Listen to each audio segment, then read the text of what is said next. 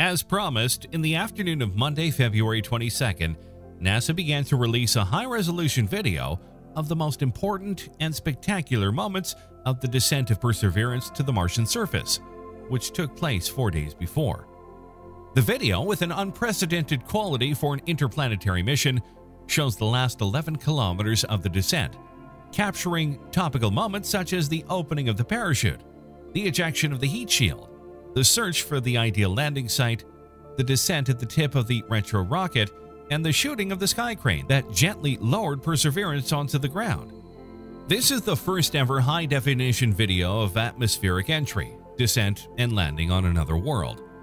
Perseverance predecessor Curiosity recorded snippets of the final stages of its Mars landing in 2012 that resulted in a short stop-motion video. And in 2005, the Cassini mission's Huygens lander beamed back images and telemetry data from its chilly descent to Saturn's moon Titan that were later used to construct remarkable visualizations. And there is, of course, no shortage of lunar landing footage from the Apollo missions of yore. But never before has a spacecraft captured the entire sequence of an otherworldly landing in such lush detail.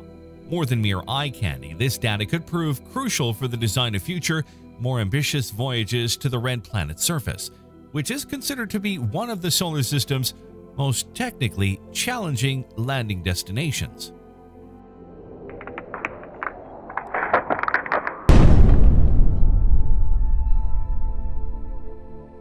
Landing on Mars is not at all easy, and it is also for this reason that in previous missions, NASA focused only on the technical aspect of the descent, without worrying about documenting the various stages with movies or photographs. During the long years of preparation of the Perseverance mission, thanks to the improvement of digital filming systems, NASA's top management thought that the time had come to develop solutions to give emotions to the paying public, American taxpayers, as well as to have visual information on the different phases of the descent. And they did it by adapting cameras already available on the market. The only priority was that the filming system did not interfere in any way with the technical management of the rover landing. And the technicians really did their best, assembling in economy a video recording system called Entry Descent Landing, consisting of five consumer cameras connected to a computer based on Linux which encoded the videos through the popular software FFmpeg. Two cameras were mounted on the outer shell of the probe to film the opening of the parachute. A third was placed on the bottom of the rover pointing downward to film the Martian surface. The fourth looks upward. Finally, the fifth was mounted on the sky crane to film the rover as it was lowered to the surface. And the result was well above any expectation. Despite some inconvenience due to high stress during landing, the cameras have allowed to obtain a video with an unprecedented definition, which gave moments of true emotion. The only weak point of the whole operation? The fact that we were only able to enjoy this spectacle deferred and days later, without the pathos that would have been there with the live broadcast, something that was obviously impossible to obtain because of the inevitable delay in receiving the signal due to the enormous distance between Earth and Mars, and also because the signals from the rover cannot be sent directly to Earth, but must first be saved locally and then when the alignment conditions allow it, sent to the probe Trace Gas Orbiter, which in turn will transmit them to Earth. In short, on our TV screens can never appear, not even in a distant future, the flashing writing live from Mars. There is the physical impossibility as well as the momentary technological impossibility. Okay, but what exactly do you see in this much vaunted video? would it not be appropriate to make it a kind of review? So that even those who only occasionally deal with space exploration can understand the meaning of certain phrases, quite agitated. Obviously, yes, and that's exactly what we're about to do.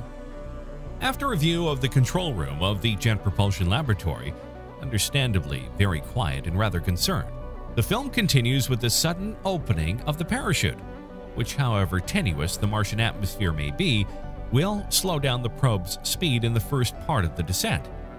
The NASA filmmaker shows us the scene in two versions, at real speed and slowed down. At that moment, Perseverance has been in the atmosphere for 4 minutes. It is at an altitude of about 11 kilometers and is still traveling at a speed of 1500 kilometers per hour. From the video, we don't realize it, but the parachute is huge, 21.5 meters in diameter, and the cables that secure it to the descent module stretch almost 50 meters in length. The large umbrella opens quickly and immediately inflates without any wires getting tangled. The bright colors and patterns of the nylon dome are important because they will help technicians study its orientation, determining which areas inflate more or less. This film will be studied in depth over the next few years, also because of a curious peculiarity. The need to create a brightly painted parachute with an asymmetrical design simulated the imagination of Ian Clark, an engineer with a passion for cryptography who was assigned the task and who sees the opportunity to hide a message encoded in binary numbers in the shapes and colors of the parachute. Clark used the binary code to write Dare Mighty Things, a NASA motto taken from a speech by Theodore Roosevelt and included the GPS coordinates of the mission headquarters at the Jet Propulsion Laboratory in Pasadena. Clark revealed the existence of the Enigma in a televised conference organized the Monday following Perseverance landing, and to his great surprise, he had to take note of the fact that just after six hours, the solution had already been found. Some fans, in fact, immediately noticed that the orange and white color scheme on the parachute looked intentional, and they arrived at the result by using orange as the symbol for the digit 1 and white as the symbol for 0. It only took space fans a few hours to solve the puzzle, Clark said. Next time I'll have to be a little more creative.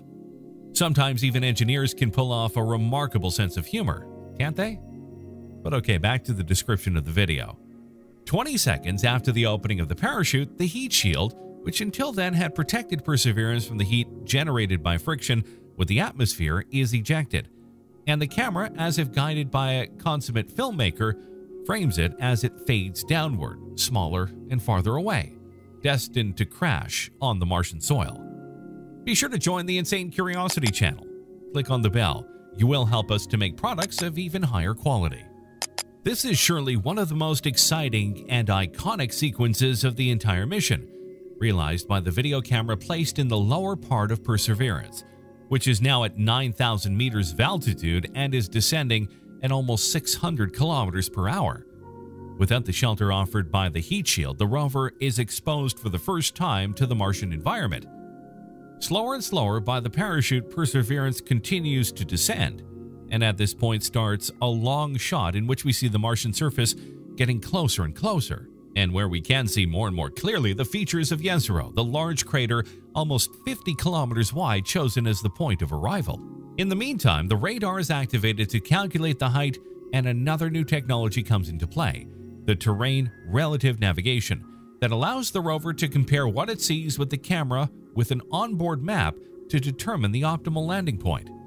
After another 90 seconds at a height of 2 kilometers, the parachute comes off, along with the back shell that still covered the top of the descent module. And in the video, the thing is clearly felt as the camera is shaken by the recoil, and immediately after the descent speed is almost halved, passing in 2 seconds from 320 to 170 kilometers per hour. They have in fact turned on the retro rockets mounted on the descent module. After another minute of controlled descent, the speed had dropped to a minimum of 0.8 meters per second. At this point, there are only 12 seconds and about 20 meters to touchdown, and it is time to start the sky crane maneuver. The descent module remains almost suspended in the air thanks to the thrust of the retro rockets, and gently lower the rover to the surface by means of three cables about 6 meters long. Meanwhile, the rover activates its mobility system, locking its legs and wheels in the landing position. The movie continues with the sudden opening of the parachute, which will serve to slow the speed of the probe in the first part of the descent. The video clearly shows how the whole operation takes place in a whirlwind of dust. In fact, the rover and the sky crane film each other while one is engaged in descending and the other in lowering. A splendid cinematographic double subjective. As soon as the rover detects that its wheels have touched the ground, it quickly cuts the cables connecting it to the sky crane, and this allows the latter, with a reversal of thrust of the engines, to fly away at a safe distance, free to crash away from Perseverance. A sequence from a science fiction movie perhaps surpassed, in terms of beauty and pathos, only by the historic takeoff of the lunar module during the Apollo 17 mission. The video then ends with the JPL control room exploding with enthusiasm for the perfect execution of the maneuver. The end. Practically, every frame offers new information about the process of landing on Mars. For instance, one of the springs used to eject the heat shield can be seen to have disconnected, though it didn't affect the process. All the footage has been, and no doubt will continue to be, scrutinized for other insights. In addition to these amazing landing videos, in the days following the landing, Perseverance transmitted back to Earth thousands of images taken by the cameras that are used by researchers to decide which path to follow for their robot during its explorations. By piecing together some of these images, mission managers have created a high-definition panoramic photograph that shows everything around Perseverance in the Jezero area. On either side of the panorama, the back and front of the rover are visible, with some distortion due to the lenses and the need to paste together images from different angles to each other. NASA has also made a navigable version of the new Martian panorama, which can be viewed via YouTube as a 360-degree video. Perseverance is also a good listener. It is in fact equipped with several microphones to record the impact on landing and especially to listen to the noise of rocks, wind, sand devils, and wheels moving on the surface. These sounds that on Mars propagate differently for the different properties of the atmosphere will provide us humans an interactive experience, but above all will have a high scientific value. Those coming from the microphones on the SuperCam will provide even at a distance data on mass, composition, and hardness of the rock, useful to understand its origins. A microphone remained on even during the rover's descent to the Martian surface, but did not pick up any sound was able to capture the audio below once it landed on Mars. Dave Gruel, chief engineer of Perseverance camera and microphone system, explained, What you hear for the duration of about 10 seconds is an actual wind gust on the surface of Mars that was picked up by the microphone and sent back here to Earth. It is the first time that a gust of wind is recorded directly and with this fidelity on Mars, and it's incredible to think that this truly is wind blowing across another world. A very subtle emotion, but that can be taken as a symbol of a mission that was conceived not only as a scientific experiment, but also as a romantic tribute to the spirit of exploration that is within each of us. And what do you think? Did you like the video? Or did you expect more?